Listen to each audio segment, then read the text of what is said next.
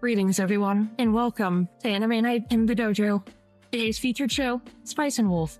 Merchant meets the Wise Wolf, Season 1. Uh, yep, Spice and Wolf, Merchant Meets the Wise Wolf, Season 1, Episode 25. Welcome back to the dojo. I'm Ryu. That's Age. We're back from our anime night in the dojo, and uh, this is going to be the end of the season here. Um, you know, a plan was made. We don't get to know the plan, so it's probably going to work. That typical trope. We've uh, seen it uh, actually multiple times in this season alone, let alone in other shows as well. So, yeah, we'll just have to see how that pans out. But, um, you know, pretty much everything we talked about last week, you know, how uh, the relationship between uh, Mendez and Franz, how that's going to come uh, into uh, play here, whether how it was in the past. Um, we speculated on multiple angles, so we'll just have to see which one of those angles it is, um, which could very well change the plan but uh, I'm sure, I'm sure that Elsa told them, you know, the relationship at some point. So if that was even part of the plan at all, because uh, as it stands, we uh, speculate that Holo is going to drop a bunch of wheat, because that's what it seemed like, unless she's doing something else. But man, that's what it felt like. now, I made the joke about the wheat golem, but uh, I don't think that's what it is. so the miracle will be performed, uh, and uh, the church will have to make a decision. I mean, it's been a solid season. We'll uh, do the typical wrap up. Um, I mentioned this yesterday on Slime, but uh, since uh, none of the dubs for the stuff that is coming out in October have even started yet, um, we're just going to wait for it uh, instead of just starting something else. So, um, especially with all the crap that we have coming up here at the end of the year, it'd probably be nice to have like a like a week where we only do like two things and just kind of get ready for the fact that we're going to have like eight things to do. It's not eight things, but it's freaking close because we have Arcane coming in November and we're just going to be doing that as its own thing, which will be adding to those three weeks because, you know, Netflix and its damn binge culture, they can't put it out in nine weeks. They're going to put it out in three weeks. So that's going to be fun. Um, and then we have ReZero is returning to the channel, one of the first shows we ever did. Bleach is continuing. DanMachi is coming back. Uh, MF Ghost is coming back. We also have freaking um, what what's the other show? Oh, we have Nier. to we have to get to Nier as well. So it's crazy. There's so much stuff. there, there's definitely a couple things that we wanted to do uh, that came out this season that we're just gonna have to push back to like January or whenever this set ends because we just don't have space for it. That's simple. So uh, yeah, if there's not anything on uh, Wednesdays and Thursdays uh, for uh, like a week or two, it's just because the dubs haven't started. It's that simple, and I'd rather have like that like buffer zone of like two weeks so we don't run into like a slime situation again. Though to be fair, the slime situation did allow slime and Spice and Wolf to end on the same week, so it wasn't the worst thing of all time. Uh, as for this, uh, we'll be wrapping this up today, so the episode might be a little bit longer because we'll be talking about the season on a whole as usual, and we'll have Victoria roll the uh, stills of the season and stuff like that as you see every on the right side of me here. So, um, that being said, yeah, uh, I don't really expect anything like too ridiculous. Uh, we know the story is definitely going to be continuing, especially since the author has, uh, you know, continued Spice and Wolf as a series. So, uh, depending on the reception of this, which I can't imagine the reception was bad. I mean, it was quite good for what it was. Like, I don't really have any serious complaints yeah. about this. So, um, yeah. Uh, once again, we're ending somewhere around volume four. The original run of Spice and Wolf was 17 volumes. Got it. And then that's when Parchment started, which is currently at nine volumes. And like five years or so after Spice and Wolf stopped, the author went back to Spice and Wolf, and now Spice and Wolf is up to somewhere around like 25 volumes. Right. So we'll just have to see what they do with the show because um, not all uh, things that get adapted to anime continue to follow the series. It's that simple. Even in this day and age where they love to just pump stuff out, uh, it's not always the case for a myriad of reasons. So, anyway, Um, it'd be nice. I, I'd like the show to continue. I, I'd like most, you know, solid shows to continue, but that's not always the case. So uh, it's kind of like, kind of wanting people to actually go read the source material, which is totally fine. I, I get it. Uh, because you know the authors make far more money off of like the actual manga or light novel or whatever it is than they off the royalties from the anime, which makes sense in a way, but also I think the creators should get a much bigger cut than they do. But everything's expensive, let's face it, and we'll leave it at that. So, anyway, let's go ahead, push some buttons, and see how this wraps up, at least for this season. So, here goes something.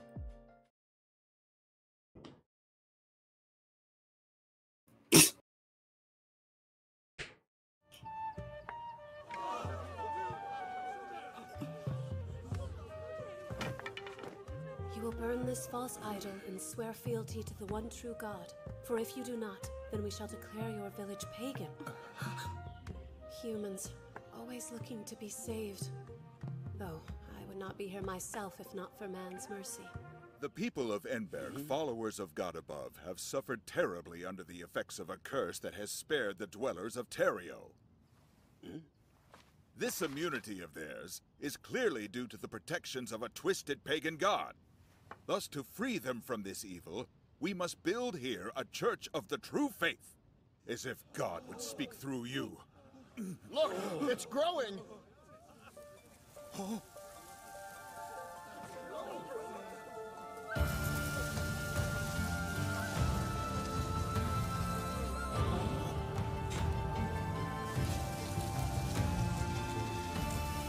In the church of this village?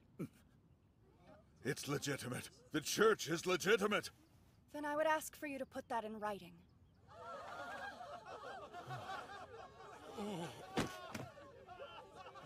Yeah, getting stuff in writing is important.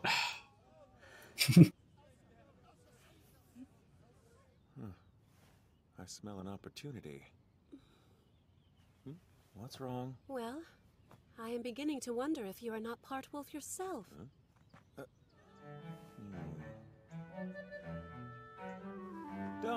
140 it is then. Did everyone bear witness to that? Now to the next item of business. How would you like to buy back the several carts of wheat flour you just returned? We can broker peace by devising a new deal that benefits all. Yeah, imagine that. What are you? To start, we'll need to borrow the expertise of the baker here. The requirements are pretty basic eggs and butter primarily. Honey, too, if you've got it. This question perplexed me for the longest time. Why did my father so passionately collect stories of pagan deities? I came to realize that he wasn't losing his belief in our god, not at all. He was seeking to confirm his existence through the manner of confirming theirs. Yes, he was. Travelers don't leave behind regrets. They leave behind only fond memories. And local legends, apparently.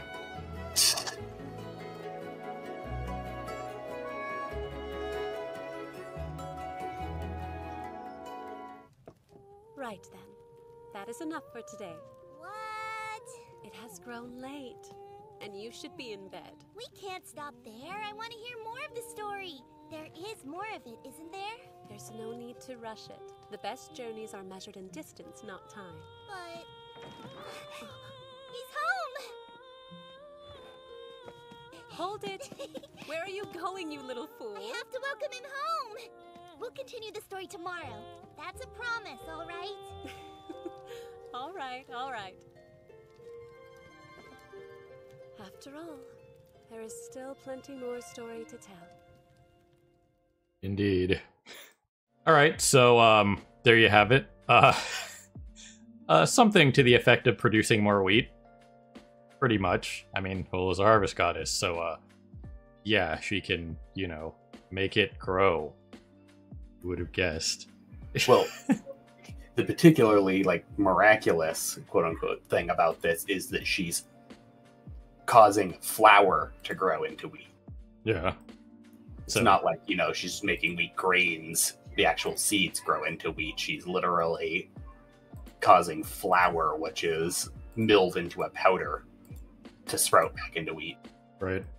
And then it showed off the one that was actually, you know, the plant, the actual bad wheat that didn't actually come from here. Uh, so solid plan. Uh, but yeah, turning flour back into, you know, just grown wheat is uh, definitely uh, on the category of uh, God stuff. So there you go.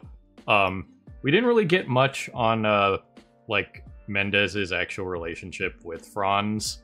It was more or less just kind of like, yeah, the church tolerated him, but you know, he uh, clearly strayed from the path with uh, Truyeo and all that stuff. So, well, so the way Mendez spoke of him, like he still did have a respect for Franz, and like a lot of the church apparently still did, you know, respect his faith. The problem, the problem they had with him was just the fact that he kept entertaining pagans.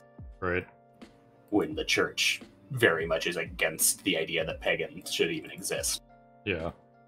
And it's one of those things, and Elsa mentions it too, is like, well, and there are other like examples of stuff like this where in the case that Elsa was pointing out during this whole situation here is like, well, how do you guys know that Truyeo isn't just, you know, a creation of our god and is just kind of like a, you know, hey, I'm putting this like uh, creature here as like a protector of this area kind of deal. You know what I mean? Like a just like an emissary of myself kind of deal.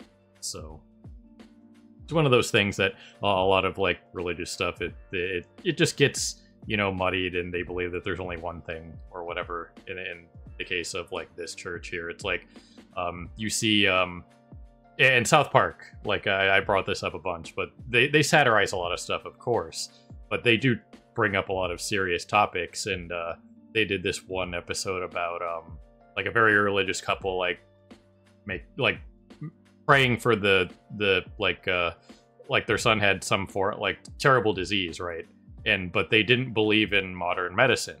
So they wouldn't like take their son to a you know normal hospital right? To like just get tested and potentially fix something that is that was curable. You find out that it was a disease a disease this kid had that it's like your kid has this I don't remember exactly what it was but it was a curable disease. Absolutely and uh, they're just like, well, no, we're we're super into prayer, and we believe that our God will heal our son. And it's like, and uh, they point out like, well, how do you know that modern medicine isn't your God answering your prayers? That kind of thing. You know what I mean? So it's always yeah. just the, the the they always have to religious people always kind of want to see like mirac- miracles like this as opposed to just like well how do you know stuff like modern medicine isn't a gift from the gods? You know what i mean? It's like you know a bunch of people prayed for better health so gods somewhere pushed whatever it may be you know scientists forward to discovering you know a cure for this disease or whatever it might be you know a, a better this yeah. thing whatever yeah, everyone wants to look for the miracles, but they don't ever consider the concept of divine inspiration, which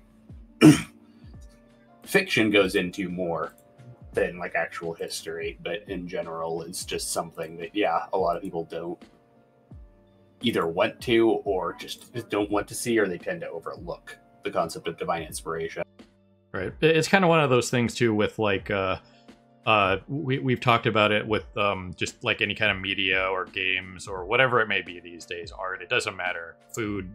Um, if if something isn't the best of all time or like super freaking unbelievably amazing uh, most people these days see it as trash when in all reality most of the time it's not. It's just like solid and decent but since it's not like innovative and new and breaking some kind of mold it's like oh well why should i bother with this? It's like because it's a solid product and just because it's not like the new greatest thing of all time doesn't mean that it's like a fun experience or like a good sandwich or whatever. You know what I mean? so it goes hand in hand with that kind of stuff where um, divine inspiration is kind of like that. Well, what if your god or gods just want to be kind of like hands off? They don't want to like come down from the sky and be like, all right, I'm going to part the Red Sea for you or whatever. Obviously, that's not something God did, but still, he potentially gave the power to part the Red Sea, whatever it may be, that kind of stuff. Just kind of like more hands off, as opposed to you know what Holo had to do here is this right here, just like right in front of everybody's face, as opposed to just like, well, I'm just gonna kind of like poke into like a couple scientist brains or artist brains or you know uh uh whatever it may be and just like give a divine inspiration instead like Just, just gonna sprinkle a few ideas here and there because they're close enough. right it's like you know it came to me a dream in a dream and i forgot it in another dream very very professor farnsworth from futurama but yeah it's just it's one of those things where it's um just kind of it's always been kind of fascinating to me that more people are just like they, they want like the like that instant gratification the the the big like you know show offy stuff like a like a divine miracle like this and aren't willing to believe like well how do we know that you know all these technological advancements aren't just like you know in short divine inspiration? How do we know?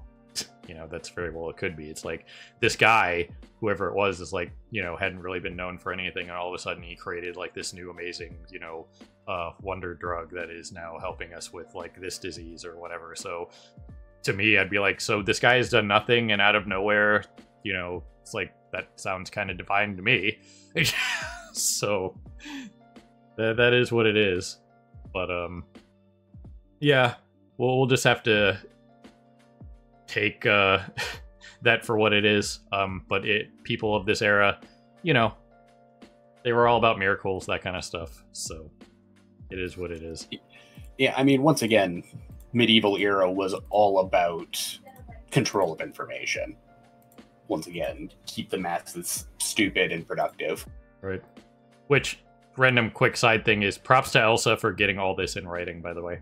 Because if you don't get it in writing, you're especially in today's age, you know, always get a receipt. If somebody does work for you or you, you pay a bill randomly with cash or whatever it may be, if you don't have a receipt, whatever it may be, you know, could turn around and say, You never paid us, or We never did that work. You can't hold us accountable for that. What are you talking about? We didn't put a faulty roof on your house, whatever it may be. You know what I mean? Always get it in writing and always have a receipt that is signed by them. like, yeah, we did this. So, but uh, yeah, as it stands, this this plan worked out pretty well. Um, Lawrence had a you know a pretty solid uh, plan for this, which uh, he, he does point out that yeah, you know the contract with uh, the other town, which the name is escaping me at the moment, uh, Enberg. Enberg, was poison because it's why they resent you. And if you can get rid of something like that and still be like it mutually beneficial and just have like a new deal where they don't like dislike the previous one and the new one is fine and everybody's fine with it, then you might as well erase the past and start fresh with something new in this case where everybody's happy. So, you know, because people will cling to it's like, oh, they're still using that old, you know, deal by, you know, Franz and, you know, they're clinging to it and whatever. So with a new deal like this, with, you know, that's like backed by the bishop and all that stuff, it looks better across the board and everything that's coming out of it, such as the biscuits, uh, makes everybody happy. So uh, it's better to just kind of like, it's kind of like when you refinance, you know? so, yeah. They, they went from a generic village pumping out wheat that the town was contractually obligated to buy at a bad price to now they're actually a specialty village putting out something that no one else nearby is rather than you know they already had an abundance of wheat and a lot of they had a literal baker's guild that was kind of running everything because of the sheer amount of wheat flowing through the town right and now Evan can stick around because now he has like pretty much the job that he kind of wanted anyway. So there you go. kind of best of both worlds. Uh, we discussed uh, Elsa potentially following him to do whatever he does, but now he's like the, uh, you know, the go-between guy for all the just trade and information and all the he, what have you yeah, he still got what he wanted, which he, he wanted to become a merchant, but he was looking to become a traveling merchant. He didn't like the area. And now he is a local merchant. Yep. So, um, as it stands, I'm sure it uh, it worked out well for him, and he, he's still obviously young enough where you know if he wants to, he can go do something else. But for now, this will be good, like just random experience for dealing with stuff on like a mass scale, that kind of thing. So that's Which good for him. I, I mentioned this during the outro. I don't know the exact context to it, but I do know that uh, Evan and Elsa are characters who do eventually come back for a later story arc. Got it. And that is kind of one of the things that uh you, see it in in the uh, outro here is uh and I don't think I've ever really mentioned this, but like when they uh when they're showing like their travel path, which I believe is in the outro. Uh it might be in the intro, I'm not entirely sure. But they show the uh like their travel path from like the initial yeah, like this this right here. So um at a certain point they're going to be like you know not everything they're not going like in a straight line. You know what i mean? It's not like they're going they're, they're starting at like normandy beach in france and going toward like i don't know whatever poland or something that's due east. You know what i mean? They're not trying to end up in like warsaw. You know what i mean? They're kind of like you know dropping down like toward paris and then maybe up toward belgium. And you know what i mean? They're they're all within like uh, uh like a geographic region and they're not just like going in a straight line from one place to another because they kind of have to be all in the same region. You know what i mean? Then i think this map kind of does like a good i uh like is like a representation of like you know they're not just going in a straight line. Like they go to this they're not like just going due east. You know what i mean? That kind of thing. So uh this is just something I- keeps crawling across my camera. yeah i keep noticing that. It's like just just just keep getting uh sidetracked by fly across the screen there. Just hey. But yeah it's, it's kind of one of those things where um you know it's not uh, mentioned in a lot of these kind of uh, like uh trade or anything is um you know you're not just going in a straight line.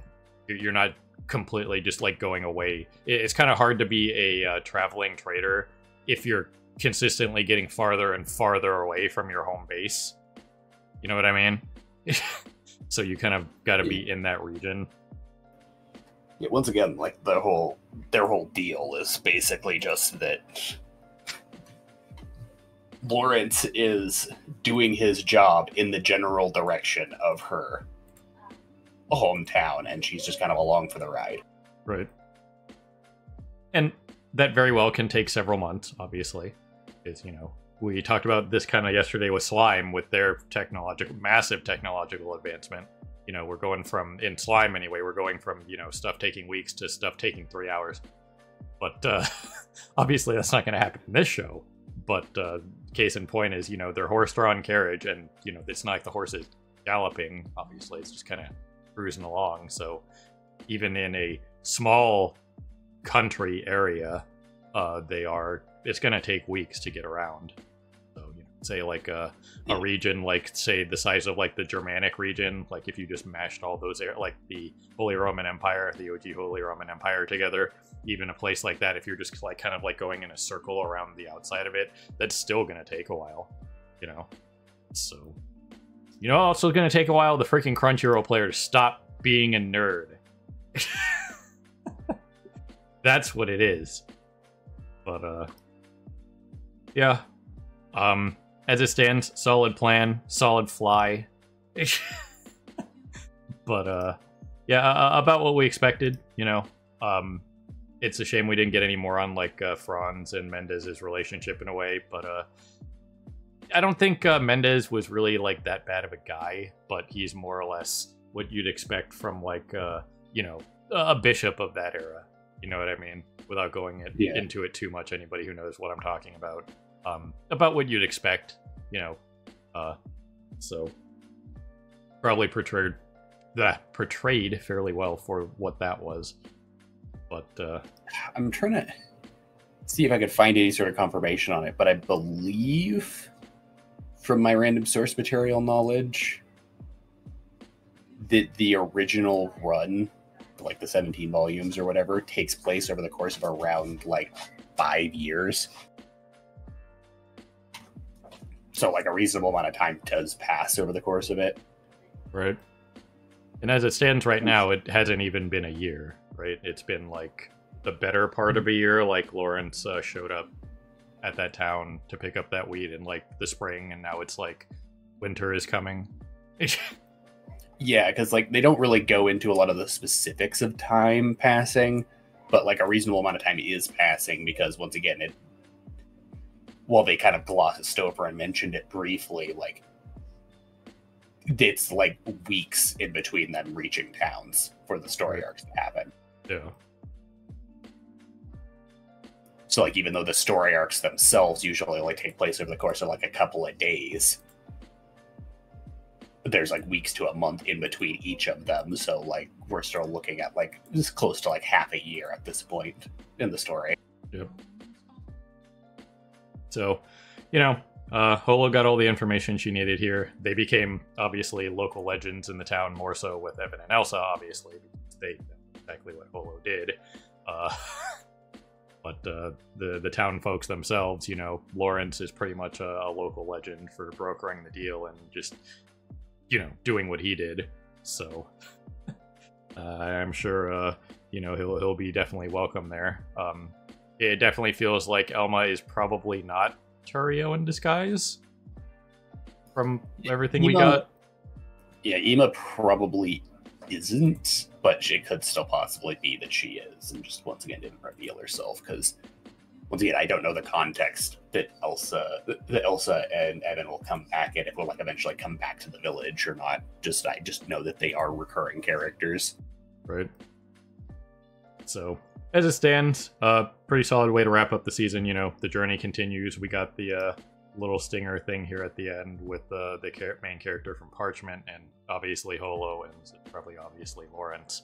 So, you know, this is kind of like the uh, once again this this particular show is being told from Holo's side as opposed to the previous one, which was told from Lawrence's side, which is exactly why we're not getting like the internal monologues from Lawrence because how the heck would Holo know what he was thinking the whole time? so it was nice to kind of like wrap this back around to the uh the beginning of this year this uh, season where they started with this and then I think in the middle of the season they kind of like did another like cutaways to uh, Yeah. this. So they did nice. during we, we saw it the first episode, the mid season finale, and then here in the actual finale. Yeah. So it's kind of neat that they're doing this, especially with the fact that you know um, parchment is a thing, and the fact that uh, you know Spice and Wolf is continuing. You know what I mean? Yeah. I know there is a pretty big jump between the end of Spice and Wolf and Parchment time wise. I don't know how big it is. I just know it's a pretty big one. And that, like, Lawrence is a character in Parchment, so was Holo. And, like, Lawrence is, like, not like super old, but he's reasonably old in Parchment. Right. But it's pretty obvious that this is him because you can tell by that, like the the like his waist, that it's Yeah, he's still wearing more or less the same outfit. Yep. So as it stands, pretty solid way to wrap up the season. Um, the season on a whole was really good as far as I'm concerned. Um, I can't speak on the uh, you know the um, whatever you want to call it, like the faithfulness to the source material. Um, but for what it is, Yeah. you know, yeah, once again, this whole like Elsa Eben bit is past my knowledge of source material for like the stuff that I actually relatively know and can like point out. But this arc wasn't even in the the uh, previous iterations. Once again, they went into like the full on like anime original stuff after the Amati arc. right? Uh, one other thing uh, I'm curious about because I just brought up the whole like time difference between Parchment and uh, the time gap between Parchment and uh, Spice and Wolf's End was uh, is a I don't know if the continuation of Spice and Wolf takes place in that time gap between the end of Spice and Wolf and the start of Parchment, or if it runs like concurrently with Parchment time wise. Got it. Like if it takes place after the time skip. Right. So yeah, this is going to be definitely a, one of those things where if I find the time, um, like I'm doing, potentially catching up on slime, uh, source material, that kind of thing. But uh, I'm gonna have to pick and choose that because I don't have a, a ton of time. It's just mostly been recently dealing with uh, other nonsense and uh, just like I'll, I'll, just read a you know a couple chapters of something here and there and you know eventually get through something. Uh, I've gotten through a couple shorter things, but uh, yeah, um, I'll just have to see. But yeah, as for this whole season, I enjoyed it. It was a it was a nice uh, break from our our usual stuff. And we have show we've done shows like this, you know, slice of life kind of. Uh, but uh, as it stands here, it you know it was very uh, for for what it is. It, it was different enough from what we we've done, and I can appreciate it. And uh, just like all, all the attention to detail that this show had, like uh, I I mentioned multiple times with the you know the architecture especially. Um, that was very impressive. You know, the soundtrack was very good. Uh, for what it was doing. You know, it, it conveyed like emotions and stuff like that very well in certain scenes. Obviously, like the uh, the relationship developing between Lawrence and Holo over the course of it was very interesting. Obviously, Holo being the hopeless romantic that she is, and Lawrence being you know who he is, uh, produces a very interesting dynamic. So that was fun. Um, you know, there there were certain like moments of you know drama and you know potential. You know, it, it had a lot of stuff. It had um, all the stuff that you could want from like a, a trader's perspective. You know, stuff like we, we saw them having to be kind of like spies and and stuff like that. Um, because uh, a trader has to have multiple skills if they want to survive, especially in this era. Mm-hmm. So it was nice to show off that kind of thing because it's very relevant and historically relevant. Um, so I think they did a good job with that. Um, you know, Mark was a great character. He, we, we got a great line out of him. We got a great clip out of him, so that was fun. Uh, and I mentioned this back when we were wrapping up the, that arc with Amati. Is uh, I, I can understand why a lot of people don't like him, and I can't speak for the original series, but for this one, um, it was just kind of one of those cases of uh, he was trying to do a good thing. You know what I mean? He thought he was doing a good thing, but uh, to quote Kratos, among other people, um, you don't know the whole story, boy. so uh, when you don't have all the information, you, you could think you're doing a good thing, but uh, you, you might not know what the hell you're talking about, and you're just kind of making an ass out of yourself, is, which is what he did. But at the end of the day, his intentions were mostly good. You know what I mean? Could he have been a little hmm. greedy and, you know, wanting to be, you know, to show off and you know steal someone's woman. Sure absolutely. But initially you kind of have to you know have that thought of oh i kind of want to save this person from this apparently shitty situation that she's in. You know what i mean? So but uh yeah um so, so i just looked it up real fast just to just to like know for sure. And yeah apparently the the like second arc, basically of second run of Spice and Wolf takes place later. And there's apparently about a once again dates aren't really stated in the sh- in the series very much. So like it's kind of guesswork, but apparently it's somewhere between like 12 to 13 years between uh, the end of Spice and Wolf and the start of Parchment. Got it. And the the uh, the continuation of Spice and Wolf takes place after that time skip. Got it. So yeah, um, as it stands, very solid season. I enjoyed it. Very little to complain about, and when there's this little to complain about, I don't even bring it up because I don't like to nitpick. Um, there are a few things that I could bring up, but they're not really like glaringly. Who cares? You know what I mean? It's it, it wasn't good enough to detract from my enjoyment of the series and uh, you know even bother bringing up you know we've we've obviously criticized stuff in the past like the most recent overlord season which that movie's coming out so it'll be interesting to see what they do with that. Um faraway paladin at some point age and i have to get to watching season two because we are definitely not doing that for the channel after the uh, very very i'll be nice about it and say mediocre first season of that um, the roller coaster ride that was Tokyo Revengers for a while.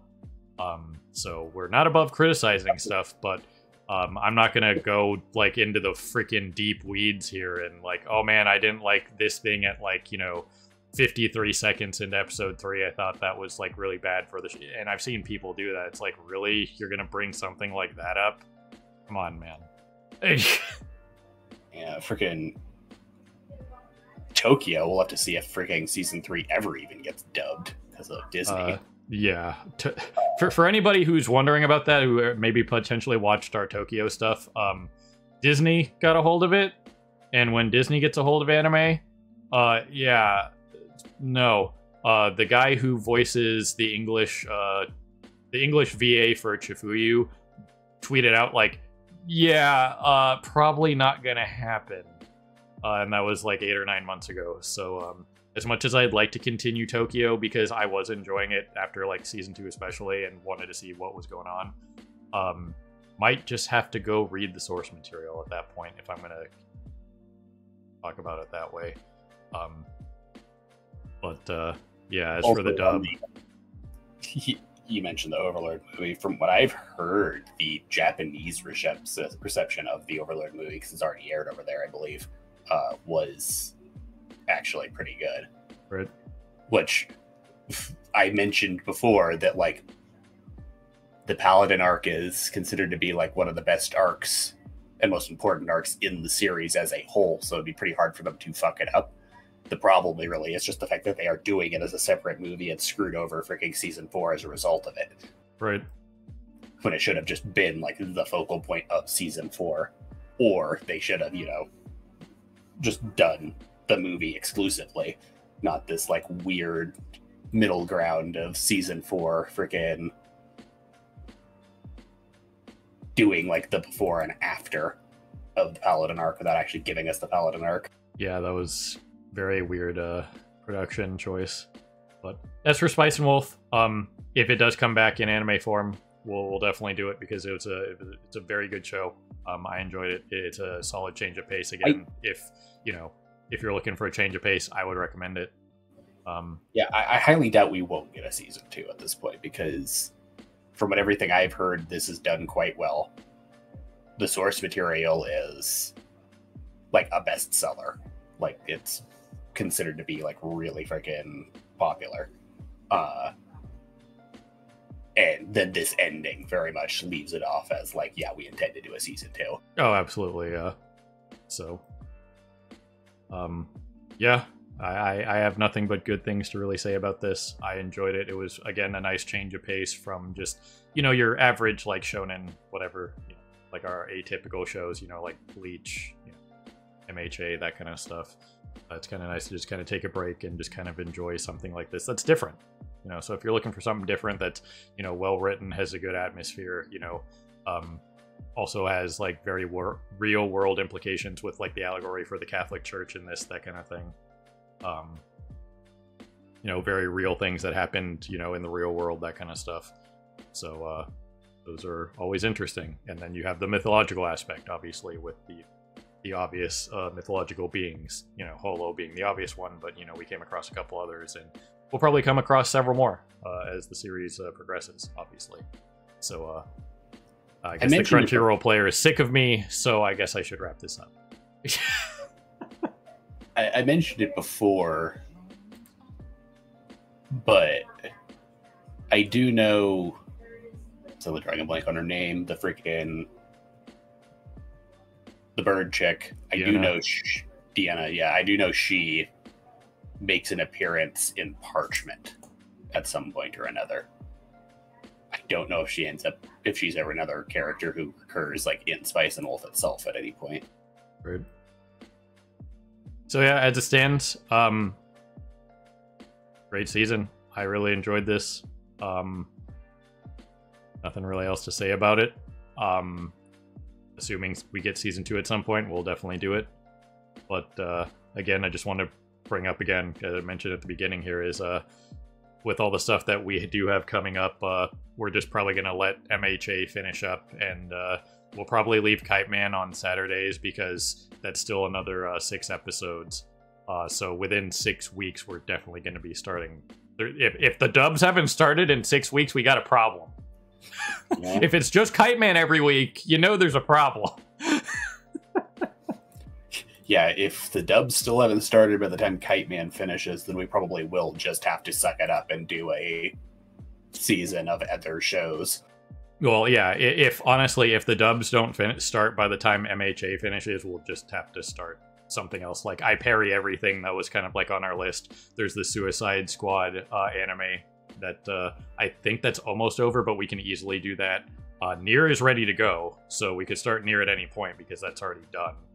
Uh, so we have stuff. It's just uh, you know, Yeah, I still really want to watch frickin' uh, Mashle, though we haven't decided if that's going to be something that we try to find a way to work into the schedule or if we're just going to watch on our own time at some point. Yep.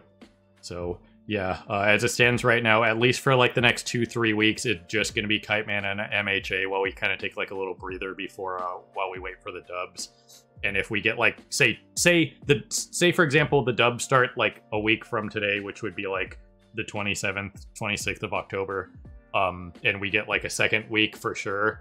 Like on that second week, like oh this is the second week of the dub, then we'll just start it and push like MHA to like uh, Sunday and Kite Man to Saturday, and just get the stuff started, and then just let those two finish as like extras kind of deal. Um, because we're going to be doing a bunch of stuff with Arcane, especially anyway. So the end of the year here is going to be, uh, you know, fairly packed. But uh, yeah. So just wanted to get that out there again. So anything else you want to say about the Spice Wolf here? Um. No, yeah, this was a good remake. Like, like I mentioned, like I never got to actually like fully catch up on Spice and all source material, but it was one of my like favorite shows back in the day. And just I really did want to get into it, but just never actually got around to actually reading the source material. Like a number of things, like I've mentioned, like I just have always really been really bad about actually reading source material for stuff. Even the things that I really want to, like it's the biggest things that I always wanted to read the source material for were this uh Soul Eater Hellsing. And then later on it became Overlord and Tanya. And just I've off and on read bits and pieces of all of their source material, but I've never actually been able to get myself to commit to sit and just read all of it. Yeah.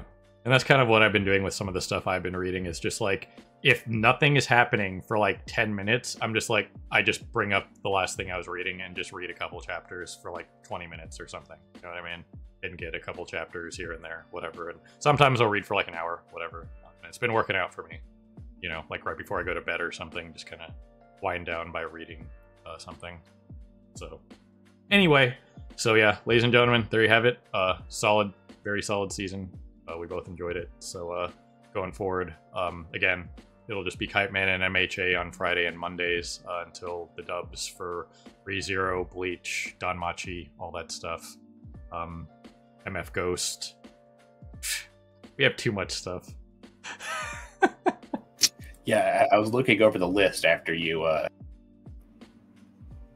mentioned it during the intro, mentioned the shows during the intro, but that's like that's like the bare minimum is still six for like what we've been doing, but there's still like five or six other shows that we also could have been doing, but just never decided to actually start. right? It's crazy. A bunch of stuff has popped up on the radar. A bunch of very good stuff is coming out. So we'll just have to really pick and choose because, you know, I, we can't do more than seven videos a week. And even doing five is asking a lot for time wise. You know what I mean? Between recording, editing, all that stuff. So, you know, it is what it is, but we'll, we'll do what we can. So, anyway, ladies and gentlemen, people of YouTube, beyond, however you're watching, we always appreciate you stopping by and hanging out us in the dojo for more anime night in the dojo. And this was Spice and Wolf, season one, episode 25, uh, the end of season one here. Uh, so we're going to go ahead and let Victoria roll the uh, stills of the season as we saw fit. So, uh, Victoria. yeah, Victoria. Yeah, is that like uh, Ruberios and Lubelios? I'm screwing up my R's and L's now thanks to Slime. I blame them. Fuse, tell your people what the English names of your places are, for the love of God. but anyway, everybody, have a good morning, evening, afternoon, whatever it is for you. Have a good one. We'll see you next time.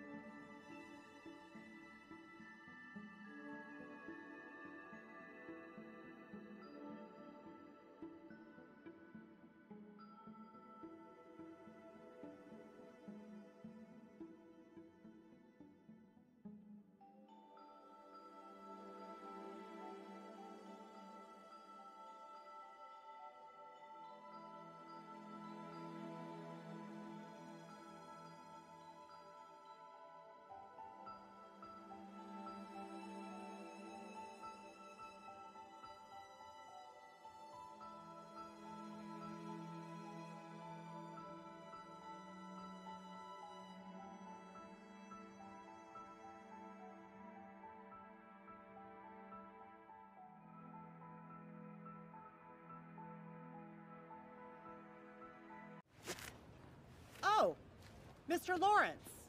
Been a long time. You haven't aged a day. Hmm? Hey, that one is taken. Hey everyone, Victoria here. If you enjoyed the video, please consider pushing those like and subscribe buttons. Your support is greatly appreciated. Thanks again for your time, and we hope to see you again in the future.